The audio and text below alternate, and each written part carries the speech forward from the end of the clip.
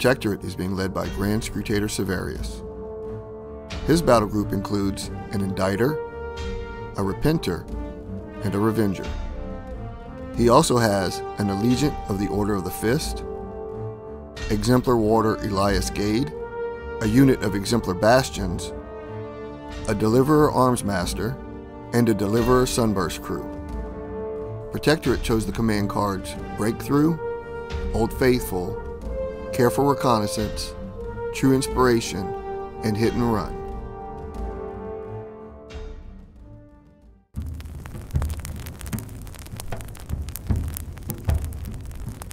Circle is being led by Kaya the Wildheart.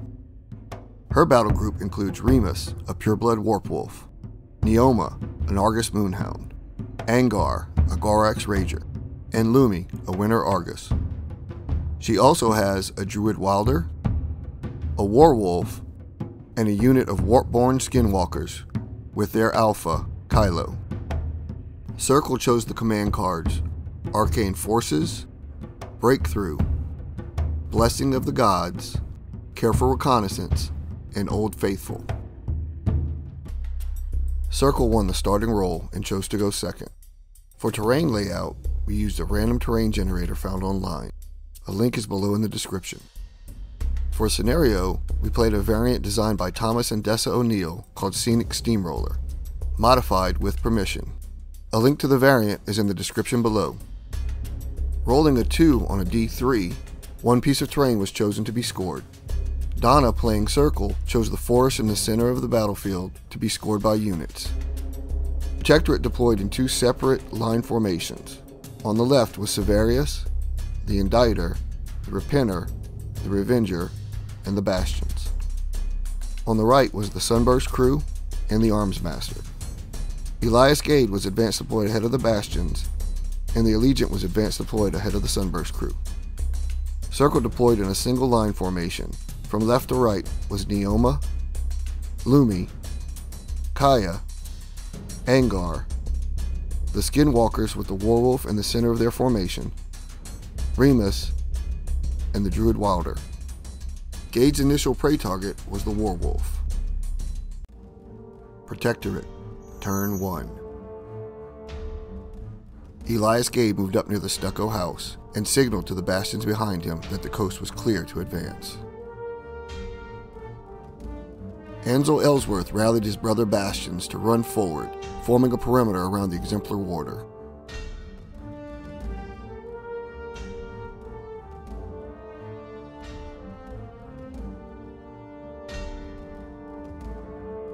Severius urged his warjacks forward, sending the Revenger running up behind the bastions.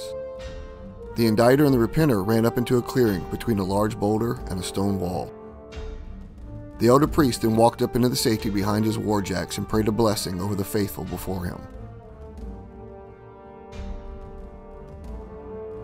Channeling through his Revenger's Arc node, he blessed Gade with a defensive warding.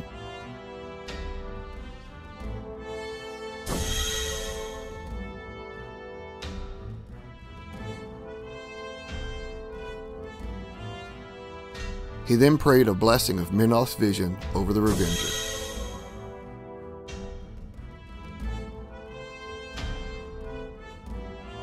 The Allegiant moved up to the other side of the stucco house. Digging his feet into the soil below him, he began to meditate and became one with the shifting sands. The Armsmaster, Garrett Shaw, moved up to survey the battlefield. From his new position, he motioned to the Sunburst crew to move up and ready their heavy ballista. Sunburst gunner Roll Oldham, a veteran of the Deliverer Corps, began barking orders out to his grunts. Together they muscled the heavy artillery up behind the Allegiant.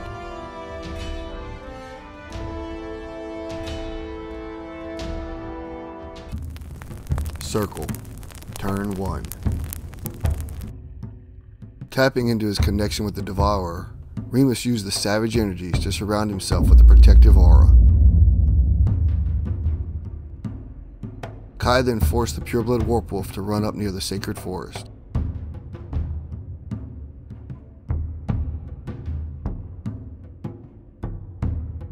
Aaliyah the Druid Wilder ran up to accompany him.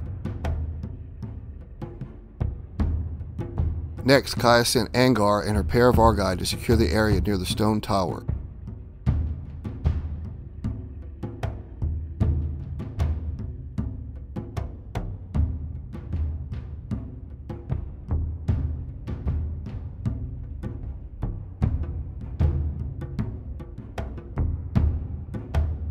She riled Neoma, inciting the Moonhound to snarl as her mistress's furious power coursed through her.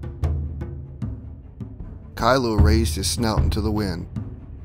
He could smell the foul Menites in the distance. Howling a bestial command, he sent his skinwalkers up to support Remus and Alia.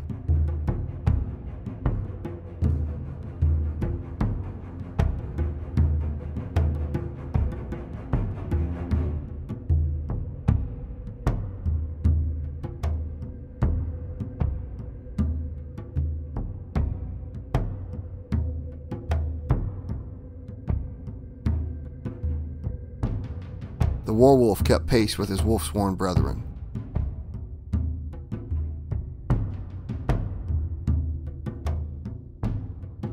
Kaya moved up behind the skinwalkers and raised her hand into the air. A cool, dense fog enveloped the battlefield, concealing her army's presence.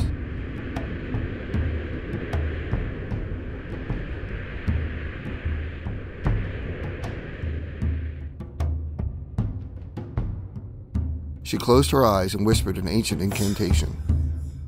Orange runes glowed around her hand, weaving a synergistic bond between the beast and her command.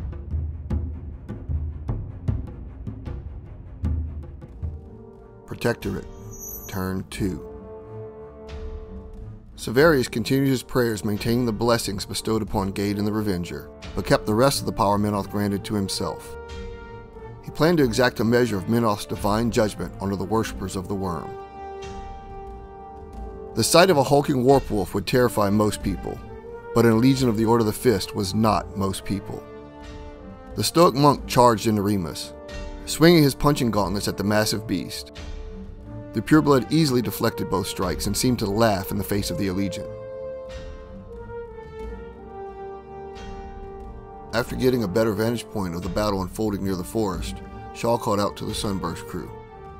The veteran artillerist shouted expert instructions to Oldham and his grunts. The fog Kaya called down would require every advantage that Roe could muster if he hoped to land a direct hit. Roe steadied himself to aim and pulled back the heavy iron lever, sending the huge flaming projectile screaming through the air towards the nearest skinwalker. As the shot slammed into Thorin, two of his brother skinwalkers, along with Remus and Alia, were caught in the blast, all of them now engulfed in flames. Though his cape was on fire, Kylo managed to survive the blast unharmed. The rest were not so lucky. At dice minus 1, Thorin suffered 5 damage. Remus was hit for 1 damage to Spiral 2 at dice minus 9. The other Skinwalker, Jaha, took 2 damage at dice minus 8. The blast and resulting flames were more than Alia could withstand, the Druid Wilder cried out as her body was consumed by the blaze. At dice minus 3, the 8 damage was more than enough to kill her outright. Gade walked up closer to the wooden house in hopes of hunting his prey. But the werewolf was just outside the range of the Exemplar Warder's crossbows. Taking aim at Angar instead, Gade let both loose into the Gorax. While both managed to hit, only the second was able to do damage, as the arrow slammed into Angar's right shoulder for 1 damage to Spiral 6 at dice minus 6. Not wanting to leave Gade exposed, Ansel rallied his bastions to move up to set a defensive perimeter in front of him.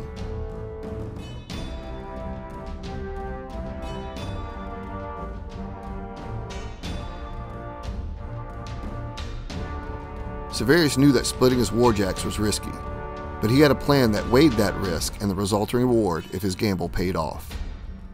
Reaching out to his Repenter's cortex, the Grand Scrutator sent the light warjack running around the backside of the wooden house. He then directed the Revenger to move up into position behind Elias Gade with the Indictor running up not far behind. Severius himself moved up to the stone wall and once again connected to his Revenger. Channeling through the Warjack's arc node, Severius attempted to curse Angar with a veritable death sentence.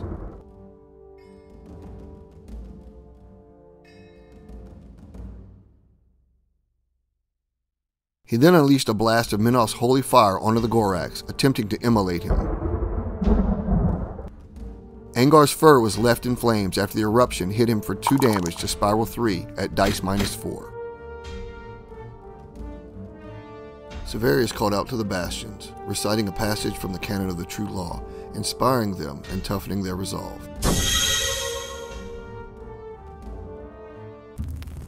Circle. Turn 2. Thorn and Jaha batted out the flames on their armor, but the rest of the fires continued to rage. Kylo suffered 5 damage, and Angar was burned for 3 damage to Spiral 2, both at dice minus 4. The fires burned on Remus's armor, annoying him, but doing no damage at dice minus 5. Kaya reined her beast in, taking the fury building inside them onto herself. Spending a portion of her power, she maintained the fog concealing her army and the synergy between her beasts. Driven by the pain of his wounds, Angar charged into the Bastion's front line.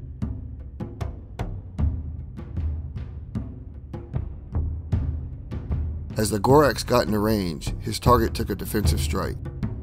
The Weapon Master slashed across Angar's chest to do 10 damage to Spiral 3 at dice minus 2, crippling his body. Despite reeling from the pain, the Gorax clawed at Victor. Kaya forced him to boost the charge attack to hit, amplifying the synergistic bond between her beast, but the claws scratched harmlessly at the Bastion's armor at dice minus 4. Kaya forced him to boost the second attack both to hit and damage, but the attack only hit Victor for 2. Kaya reached her right hand out towards the Bastions and clawed at the air, cursing several of them as wounds opened across their bodies, spilling their blood into the soil. The wounds weakened Brill, hitting him for 3 damage at dice minus 4, but utterly devastated Ansel. The exemplar Bastion tried to tough out the pain, but in the end he lay dead, suffering 5 damage at dice minus 4.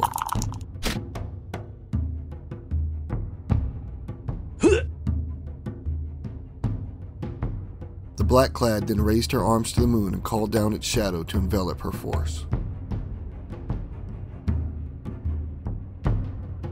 She repositioned behind the Warwolf and reached her mind out to her Winter Argus.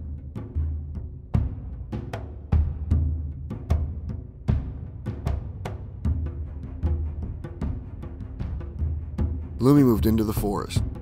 Keeping her distance from Brill, she sprayed him with a shower of ice. Boosting the hit, she did 5 damage at dice minus 4. The Bastion's blood froze solid in his veins, killing him instantly.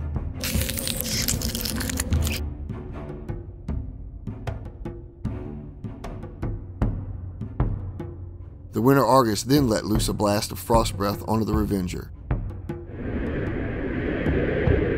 The Warjack suffered no damage thanks to Menoth's vision protecting it.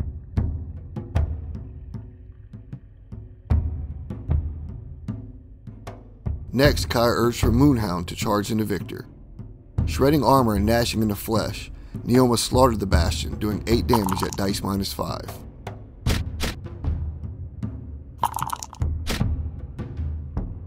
The bestial synergy grew as the halberdier fell dead at Neoma's feet. She then repositioned near Gade.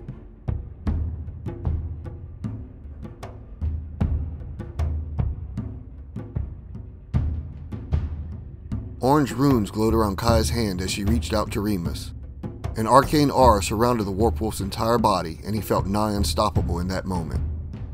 Remus connected with the warp and felt every sinew in his body tighten as his strength increased. She forced him to charge into the Arms Master, assaulting him with a howling bark that sent waves of sonic death spraying through him, as well as catching Ro in one of his grunts.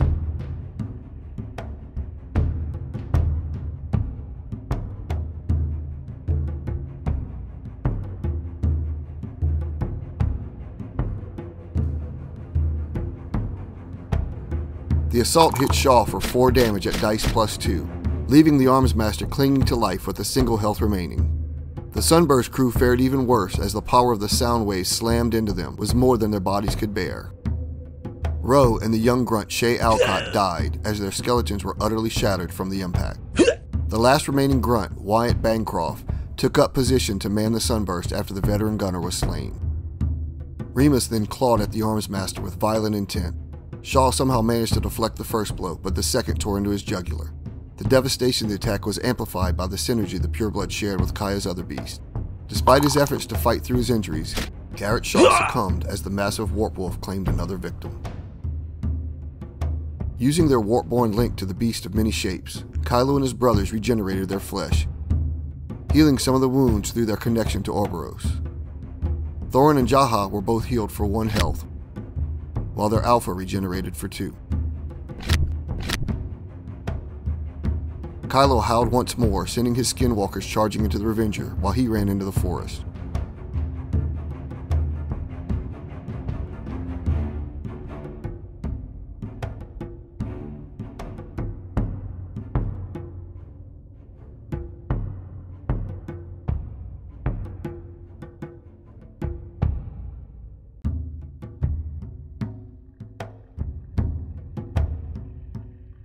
As three of the Warpborn warriors began to gang up on it, the Revenger steadied itself in the face of the onslaught.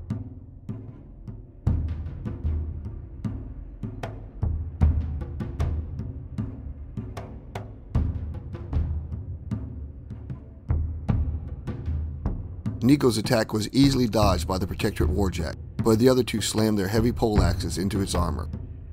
Thorin hit the Revenger for 2 damage to column 1 at dice minus 5, but the other glanced harmlessly off its chest plate. Both skinwalkers were driven back by the Revenger's repulsor shield afterwards. The Warwolf charged into the Allegiant, tearing at the monk's flesh with savage ferocity. The Allegiant was struck for 5 damage but stood steadfast, managing to tough out the pain and stand bloodied but defiant in the face of the wolf. With Kylo's position protecting the sacred forest, Circle's advantage of the area was established. Protectorate, turn 3. Severius prayed and restored his own power, along with blessing each of his warjacks as their arcane mechanica regenerated their innate power.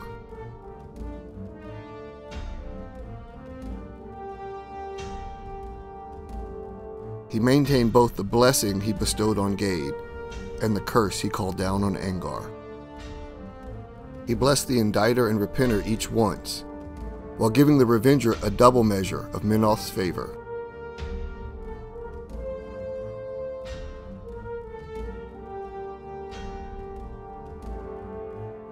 The elder priest then moved up to the safety behind the wooden house.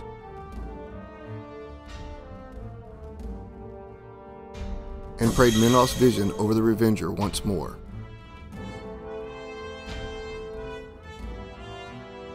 Afterwards, he closed his eyes and raised his staff towards the heavens, calling down Menoth's divine might over the battlefield.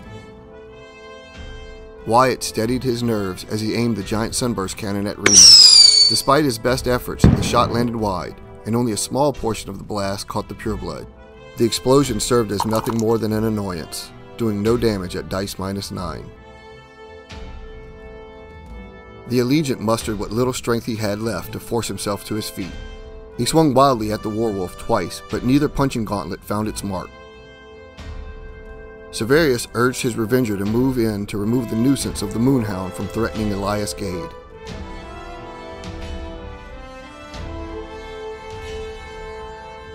On its first attempt to knock Neoma back with its repulsor shield, the Warjack failed, despite boosting its chances to hit.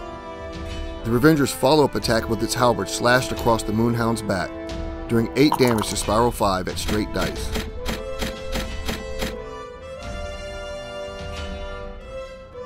The Grand Scrutator urged his Warjack to expend its remaining blessings to attempt another attack with its repulsor shield, and boost its chance to hit once again. As the shield slammed into Neoma for 6 damage to Spiral 6 at dice minus 2, she was driven back towards the wooden house and away from both the Revenger and Gade. Both her mind and spirit were now crippled after the attacks.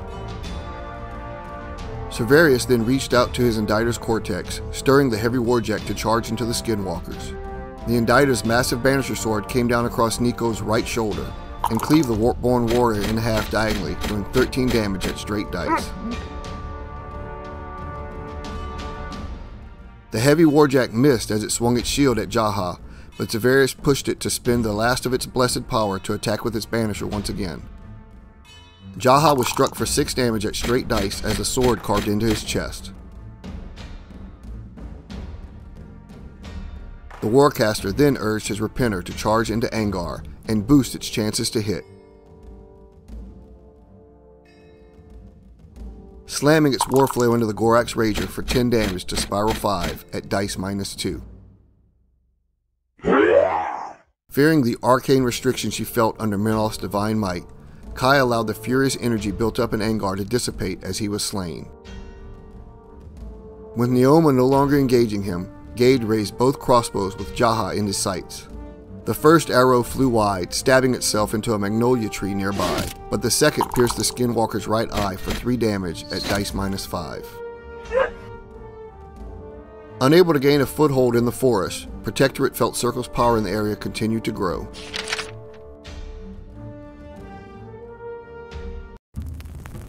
Circle.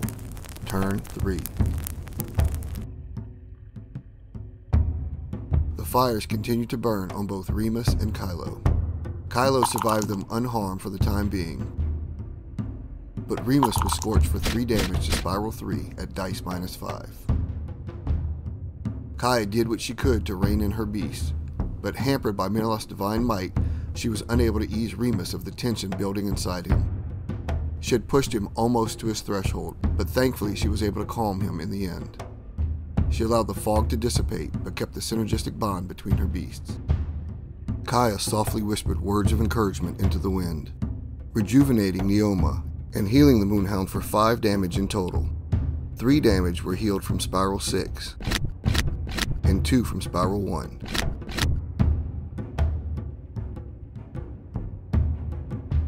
The pureblood warped strength again as Kaya forced him to charge into the sunburst.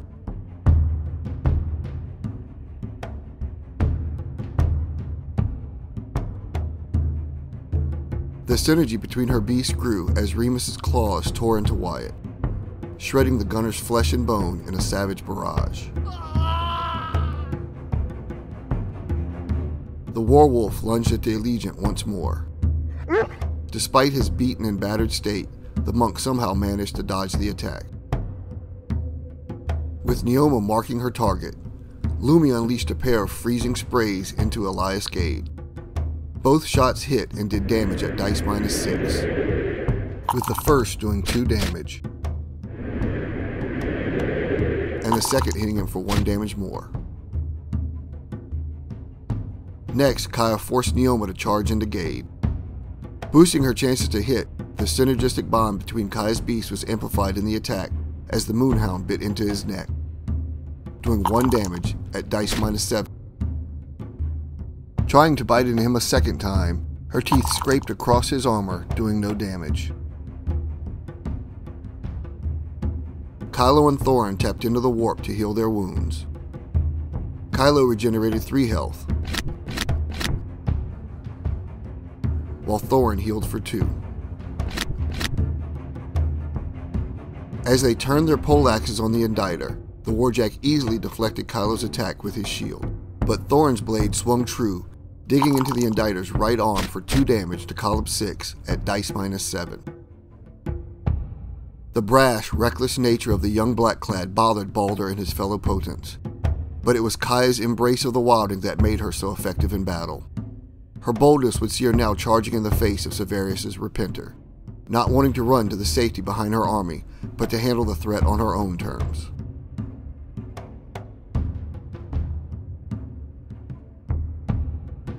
Charging into the Warjack, she expended a portion of her power to increase her chances of Mistral's blade finding its target. Stabbing into the Repenter, she did 5 damage to column 4 at dice minus 5. Driven by the power she had leached from her beast, Kaya lashed out at the Warjack again in hopes of fully destroying its now damaged cortex. Boosting her potential to hit, Mistral's blade struck the Repenter once again, but was unable to pierce its armor despite exhausting the last of her energy to boost the damage. Realizing the danger she exposed herself to, the impetuous warlock repositioned back by the stone tower.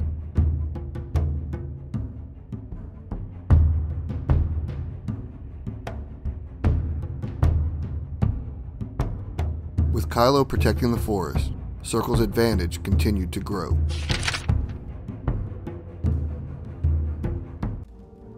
Protectorate, turn 4. Leaning on the strength of his faith in the lawgiver to see him to victory, Severius allowed the blessings on Gade and the Revenger to pass. He then gave a double portion of the Creator's benediction to both the Revenger and the Repentant. Channeling holy fire through the Revenger's Arc node on Nakia, Severius prayed to boost the arcane attack. Offering the last measure of his power to increase the intensity of the flame, the Protectorate Warcaster let loose immolating fire to engulf his foe. The young warlock was burned for 8 damage at dice minus 4.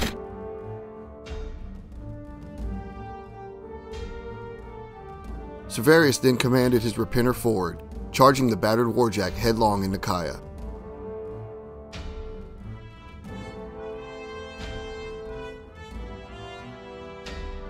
Blessing the Repenter's chances to connect, its heavy warflail slammed down into the Blackclad, doing 11 damage at dice minus 2, killing her instantly and claiming victory in the name of Menoth.